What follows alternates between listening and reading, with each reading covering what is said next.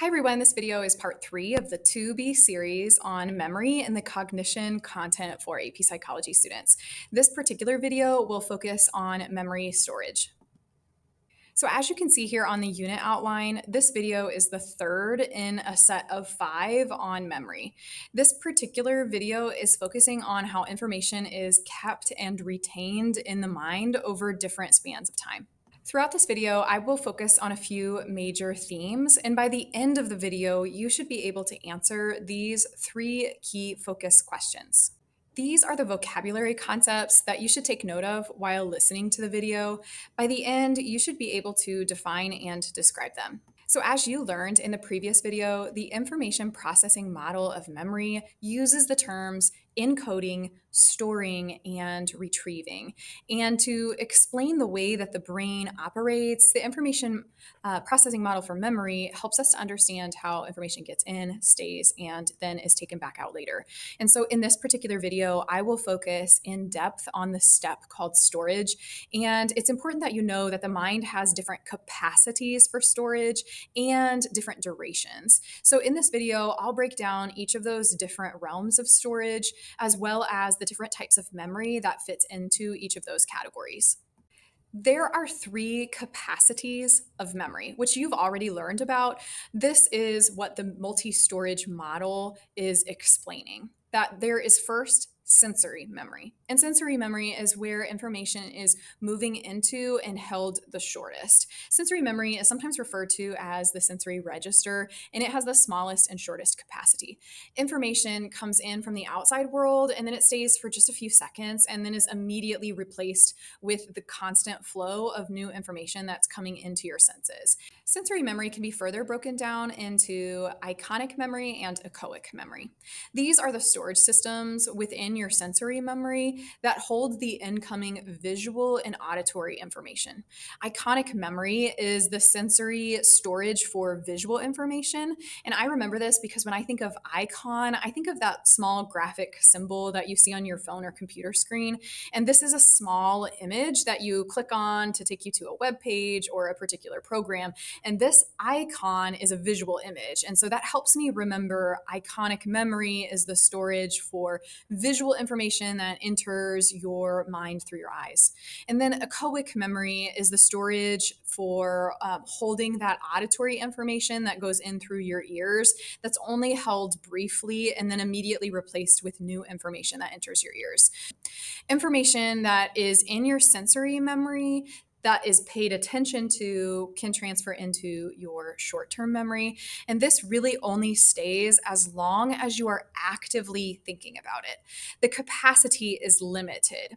Unlike our long term memory that can house numerous amounts of information for days, weeks, and years, our short term memory is much smaller and much shorter. Let me give you an example to help you understand the capacity of your short term memory. I will read you a series of numbers. Each series will be different. And after I read one set, I want you to hold it in your mind until I say the word write. And then I want you to take out a pencil and paper and write down the items that you were holding in your mind onto your paper. And in order to really understand short term memory, I don't want you to employ any types of memory tricks. So, no mnemonic devices, no strategies, just try to hold them in your mind as they are. And I will do this for nine sets. I will call them by letters. So I'll call it set A, and then set B. And then as I go through them, you will write them down onto your paper. Okay, so remember to hold the items from each set in your mind until I say the word write. All right, the first set is set A. Ready? Three, six, four, two. Right. I'll continue to go at this pace and make sure to pause the video if you need time to write down your answer. Set B, eight, zero, one, nine, five. Right. Set C, four, two, seven, one, three, six. Right. Set D, seven, one, four, nine, zero, two, five, right. Set E, five, three, zero, one, eight, six, nine, four, right.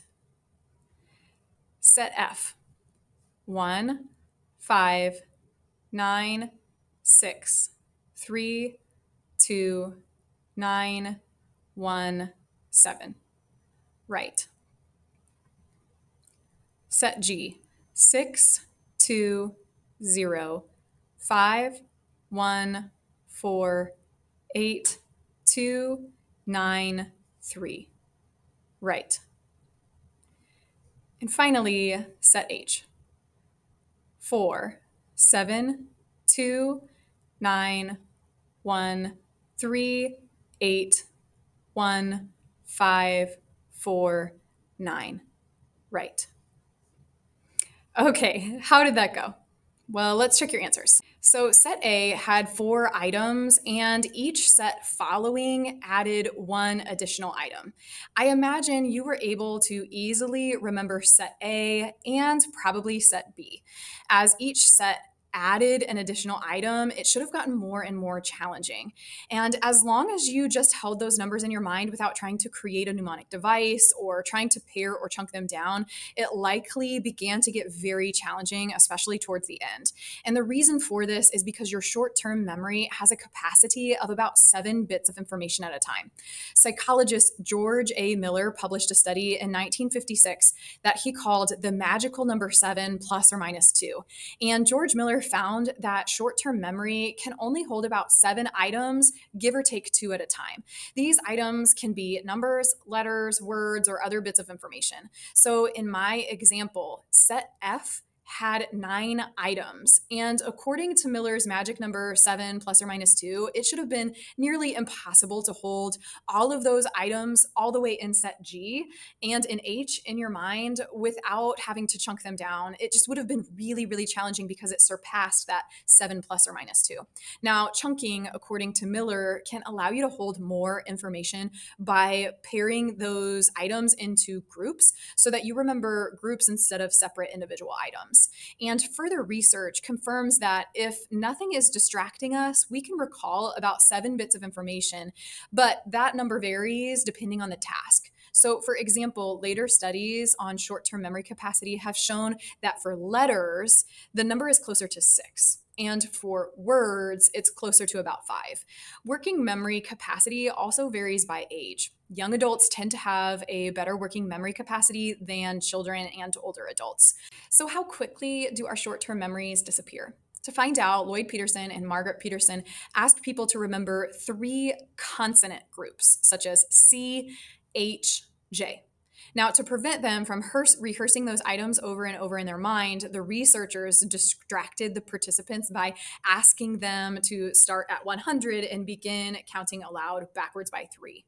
After about three seconds, the participants recalled the letters only about half the time after 12 seconds, they seldom recalled the letters that were given to them at all. So you can see this memory decay on the chart on the screen that's labeled figure 2.4 2 without the active processing that we now understand to be a part of our working memory. Short term memories are very, very limited and do not last very long at all. Now, to hold information longer in our minds, we can rehearse it or repeat it. Maintenance rehearsal and elaborative rehearsal are two different types of strategies we can use to try to keep information longer in our memory. Maintenance rehearsal is the process of repeatedly verbalizing or repeatedly thinking about information to keep it in our short term memory. Maintenance rehearsal would be like saying something over and over and over again, like repeating a phone number over and over and over again until you dial it. However, this method is usually not very effective in getting that information into your long term retention because it doesn't really involve any kind of deeper processing and it mainly helps just extending the duration of your short term memory. Maintenance rehearsal focuses on keeping information active in your memory, but it's not going to transfer it into long term memory. You might remember this term from a previous video being shallow processing, and that's what maintenance rehearsal is. It's a shallow processing method. Elaborative rehearsal is a process that involves linking that new information to existing knowledge by creating meaningful connections. So instead of just repeating it over and over and over to try to keep it in your short term memory longer, elaborative rehearsal requires you to think about the meaning of the information and then relate it to concepts you already know or create associations to it. Both of these processes are occurring within your working memory that you're actively processing that information, and both of them are involving you attending to that information, um, however, elaborative rehearsal is going to be more likely to take it out of working memory and move it into long term memory. Now, our long term memories are those that are kept and then can be called upon later at another time hours, days, weeks, or even years later. Long term memories are not stored like videos that can be played back later or in a book placed on a, a, shelf that can be reread at another time. This information is kept either knowingly or unknowingly and housed in different places in the brain. As you know, the hippocampus plays a really key role in long term memory storage, but memories are also stored in other places like our cerebellum and our basal ganglia. These memories may also be difficult to retrieve retrieve and may only come back when tr- triggered by certain cues. Pieces of information may also be tied to familiar places or smells or tastes. So, for the remainder of the video, I'll share about the different types of information we store in our long term memory. When you were to ask someone to share about a memory they have, they're likely going to share an explicit memory. This is referring to the information you are consciously aware of in your memory and you're consciously drawing it out. These are the memories you have for facts and knowledge and experiences. You're aware of this information in your mind. You're conscious that you're retrieving that information out of your mind. These are explicit memories and they're stored in your hippocampus. So when you try to summon up stored explicit memories, you are going to pull out that information from your hippocampus and it will be brought into your working memory to process. And this is going to be processed in your prefrontal cortex, which is responsible for processing your working memory. Now, depending on what what type of information you are pulling out of your long term memory, it may go into your right or your left prefrontal cortex. For example, if you are recalling visual memories, it's probably going to go into your right side of your prefrontal cortex. Whereas if you're recalling a password and you're pulling that out of your long term memory, it's probably going to be brought into your working memory to be processed on the left side of your prefrontal cortex. Now, there are two main types of explicit memories there's episodic memories and semantic memories. Episodic memories refer to the long term information you store related to experienced events, things like your first day of school, a vacation with your family, or a trip you took with your friends. Semantic memories refer to the long term information you store related to knowledge and facts, like who is the president of the United States? What is the equation you use to find the slope of a triangle or how many continents are there we can store information more readily in explicit memory if it fits with our existing schemas or frameworks that we already have. It's more challenging to try to retain new information if it doesn't connect with information we already have in our mind or match schemas that we already have. So, a memory tip for you is when you're trying to study or retain explicit memories or retain information, it's going to be more likely to be kept if you can try to connect it to things you already know. Autobiographical memories are a subset of episodic memories. As you know, episodic memories are recollections of events about one's past. Um, think of it like recalling an episode of your life. Episodic memories are a more broad concept, where autobiographical memory is a more narrow memory about the self. It's referring to very specific facts about yourself, like when and where were you born. Now, as you can see in the blue box at the bottom of the screen, the CED wants you to have a better understanding of, of highly superior autobiographical memories. And that just means that some people have better autobiographical memories than others. For example, Jill Price is the first documented case of having a highly superior autobiographical memory or HSAM. And this was studied extensively in 2006 and 2014. She can recall nearly every detail of her life since the age of 14 effortlessly remembering events and dates, even the weather of specific days. However, her exceptional memory is actually just limited to autobiographical details, and she doesn't necessarily outperform others in, uh, in other types of recall type of tasks, but rather specifically these autobiographical events. As you might recall from the first video on encoding, some information actually slips into our long term memory storage without us even really being aware that it's being encoded. We called this automatic processing. And once that information is retained and stored, we call that information implicit memory or memories that we're just not consciously aware that we have. And we often draw upon them without even realizing it. You don't need to consciously think about or recall these memories, they are just brought upon when you need them. Um, these would be things like knowing how to ride a bike or possibly feeling anxious when you hear a loud siren. Um, these are memories that seeped in without you realizing it and then are drawn out without you having to consciously process them. Implicit memory includes a really broad range of things like learned skills, habits, and conditioned responses that occur outside of our conscious awareness. So, implicit memories are actually stored in your cerebellum and your basal ganglia. Now, a procedural memory is a specific type of implicit memory that focuses on motor skills and actions and how to do things. It's a memory of how to perform tasks that require motor coordination or physical movements. So think about when you get ready to brush your teeth, you know all of those steps from placing the toothpaste onto the toothbrush and brushing your teeth and remembering not to swallow. Knowing all of those steps would be a procedural memory. So would things like remembering how to tie your shoes or play a musical instrument, drive a car, and any skill that's just been ingrained in your memory to perform automatically, often without even thinking about it. So procedural memory are involving this how to knowledge to perform a physical task and carrying out all of those sequences of movements that you have developed through repeated practice. Now, the last type of long term memory is called prospective memory. And this is a type of long term memory about future events. It's referring to the ability to remember and carry out a planned action. So, prospective memory involves holding on to a plan at the right time, remembering and carrying out that action. So, this would be like remembering to feed the cat before leaving the house, or remembering to attend a meeting at a certain time, or remembering to send a friend a card on their birthday. These are prospective memories.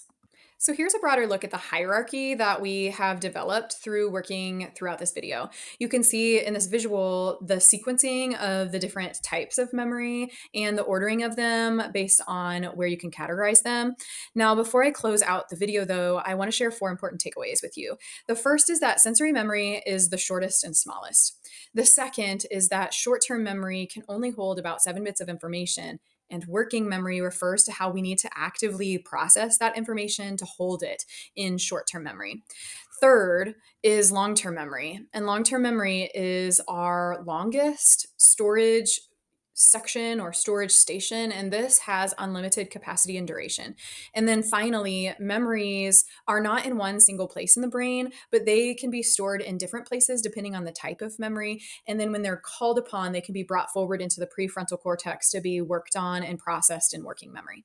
So let's finish today's video with a few short questions for review. I'll read the questions out loud, so you'll need to pause whenever you want to determine the answers. Question number one says Maloney's boss gave her the phone number, including the area code of a client she needed to call.